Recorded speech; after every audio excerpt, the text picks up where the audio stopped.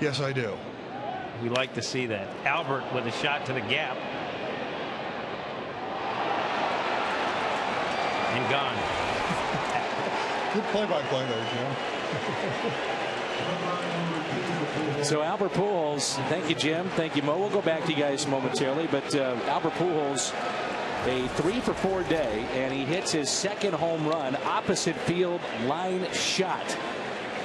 Just clear the wall. You know, I knew he hit it well, but I didn't think he hit it well enough to carry out. And the outfielders were a bit surprised that they were giving chase. Runner going, and Albert, he doesn't think it's out. He, the way he leaves the batter's box, he's watching, and then he's